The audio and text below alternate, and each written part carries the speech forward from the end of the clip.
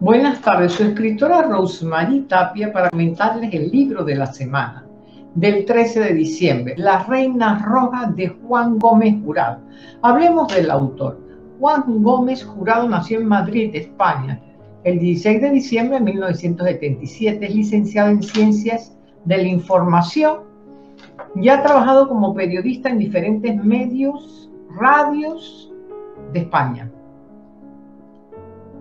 Eh, em, él tiene dos novelas anteriores muy buenas, El emblema del traidor y cicatrices, que las publicó en Amazon.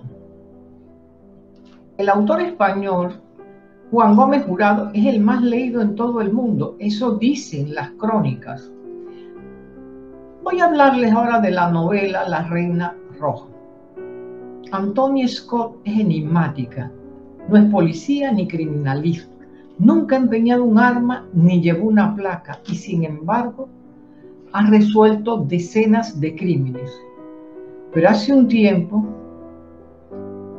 Antonia no salía de su ático. Las cosas que han perdido, que ha perdido, le importan mucho. Tampoco recibe visita. Por eso no no le gusta cuando escucha pasos desconocidos subiendo las escaleras hasta el último piso. Sea quien sea, Antonia está segura que vienen a buscarla. El otro personaje principal también es el inspector John Gutiérrez. Está acusado de corrupción, suspendido del empleo sin sueldo. Es un buen policía, metido en un asunto feo, en algo escabroso, y ya no tiene nada que perder. Por eso acepta la propuesta de un misterioso desconocido de ir a buscar a Antonia, sacarla de su encierro, conseguir que vuelva a ser lo que hace en algunas ocasiones, y ese desconocido le ayudará a limpiar su nombre. Es un encargo extraño, pero es aparentemente fácil las críticas dicen que el personaje de Antonia es sin duda el mejor personaje del thriller. al autor lo leen más de 40 países y es considerado por ellos el mejor escritor de thriller de Europa. Antonia tiene un don,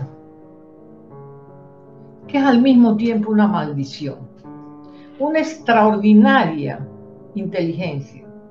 Gracias a ella se han salvado decenas de vidas, pero también lo ha perdido todo.